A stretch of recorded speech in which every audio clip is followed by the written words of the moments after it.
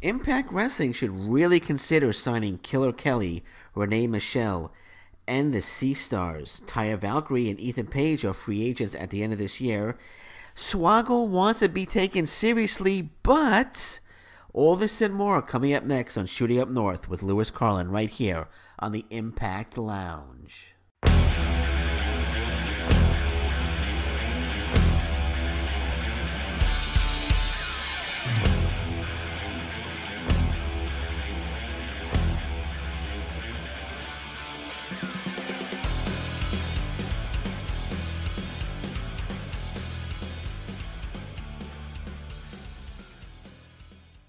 Hey folks, welcome to Shooting Up North. I'm your host Lewis Carlin. Thanks for joining me today. Just real quick, I do have my own YouTube channel right now. It's called the Alliance Pro Wrestling Network. The Alliance Pro Wrestling Network. We have really, really great content up there. Some great indie interviews, some interviews with legends up there and other great content as well and i'm adding content regularly on that channel. So check it out the alliance pro wrestling network. Look in the comments you'll see the link. Please hit that link and please please please hit that subscribe button. Thank you very much. Okay let's move along here. Let's get started. Impact wrestling. They should really really consider signing killer kelly renee michelle and the Sea Stars, Delmi Exo and Ashley Vox. One, I wasn't familiar with Killer Kelly. I'm going to admit that when I first saw the name Killer Kelly, but I watched a bunch of her matches, and Killer Kelly is a great talent, a potential star. And Renee Michelle has great potential as well. I watched a few of her matches. And Delmi Exo, Ashley Vox, good tag team there. Uh, they're sisters, if I'm not mistaken but uh, they uh, good tag team there. So Impact Wrestling should really, really consider signing before them. And and here's why. And here's why. Okay, one, and I'm gonna get into this a little uh, shortly. But Taya Valkyrie and Ethan Page are both uh, free agents. But let's not talk about Ethan Page. Let's talk about Taya Valkyrie. Taya Valkyrie is a free agent at the end of this year. Okay, we'll, we'll get into Ethan Page in, in a bit. Uh, but Taya Valkyrie is a free agent at the end of this year. There's no guarantee that she's staying with Impact Wrestling. I hope she does, but there's no guarantee that she's staying with Impact Wrestling.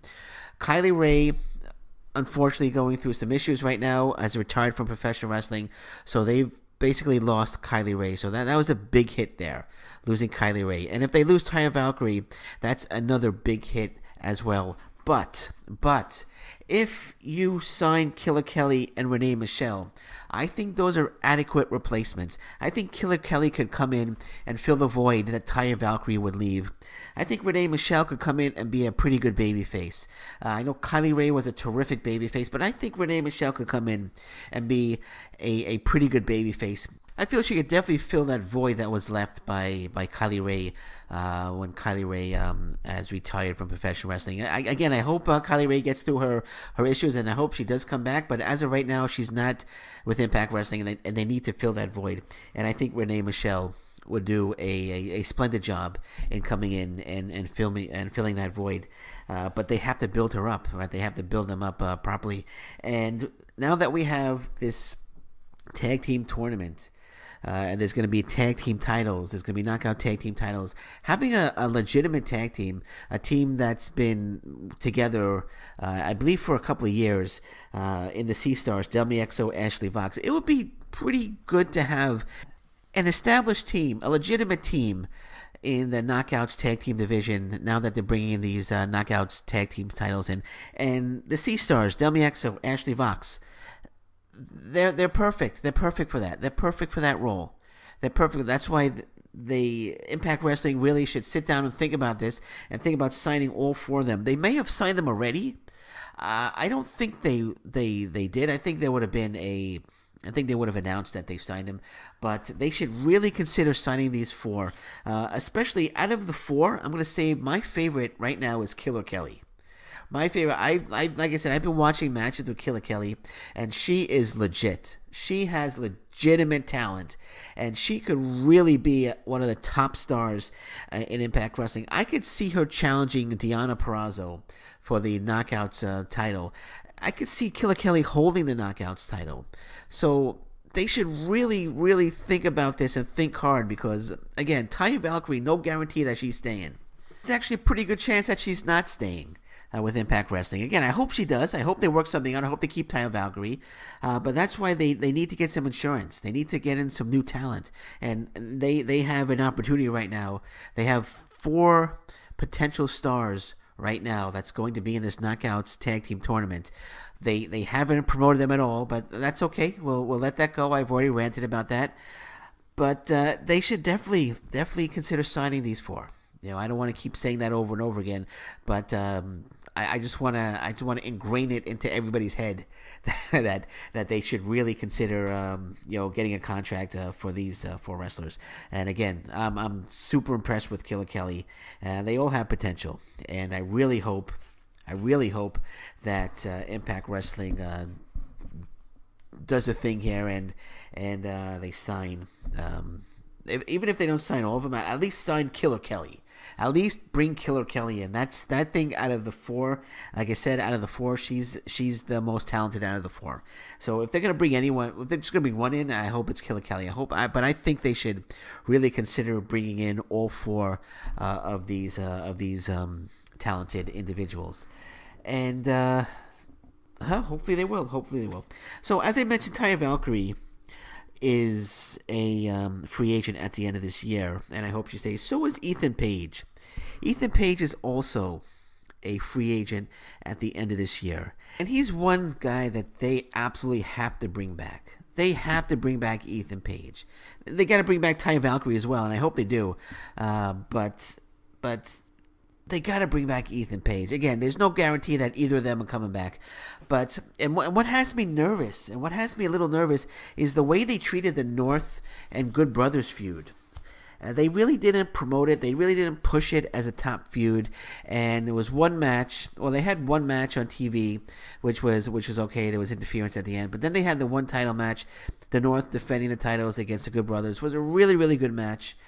But uh, the Good Brothers take the titles, and uh, like I said, there wasn't a real there wasn't the promotion sh- the promotion machine wasn't working for, for this feud for some reason. They didn't really push this feud uh, the way they should have, which which leads me to believe that, uh, and I hope I'm wrong, but I'm thinking maybe they didn't push it because Impact Wrestling knows that Ethan Page is not coming back, and they realize um, they they determined that why uh, why push the feud if if Ethan Page is not coming back. And this is just me thinking. I have no proof. I didn't read this anywhere. This is just um, in the head of Lewis Carlin right now, uh, and I, I could be wrong, and I hope I'm wrong.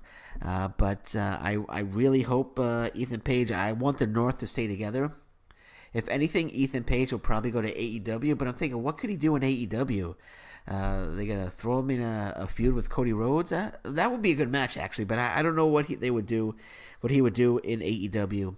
And what what what worries me a little bit is Josh Alexander, whose whose contract is not coming up. I think he's got another year on his contract. I would be afraid that Josh Alexander would just would follow Ethan Page to AEW uh, if uh, if that does happen. And I that's the rumor that AEW is interested.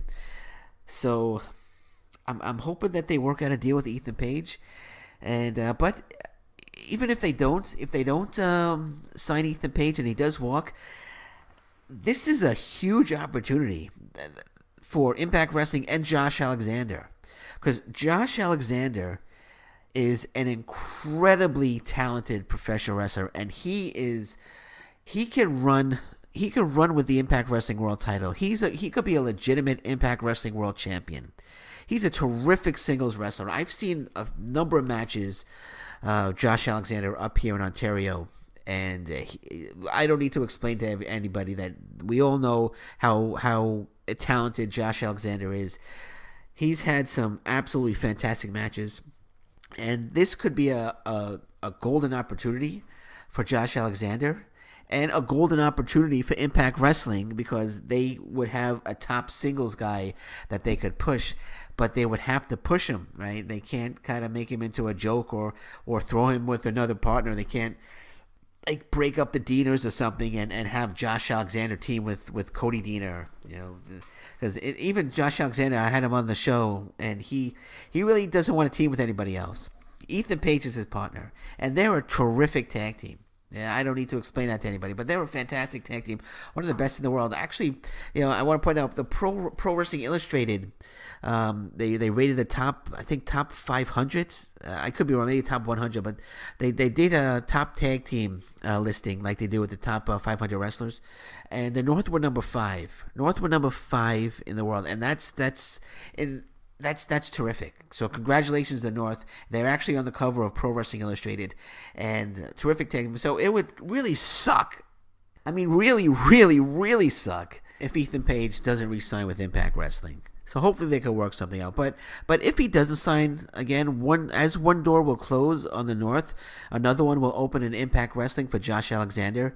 And uh, like I said, I would I would eventually put the world title on Josh Alexander because he can definitely run with it. He would be he's a great great talent to be leading your leading your um, promotion. He definitely could be the face of Impact Wrestling for a bit, and uh, I would I would um I would really consider, if I was Scott D'Amore and Don Callis, I would really consider putting the title on Josh Alexander. Should Ethan Page leave now, even if Ethan, even if Ethan Page doesn't leave, they re- remain the North. I would still, I would still push both of them as singles wrestlers because they both are very capable of running with the Impact Wrestling World Title.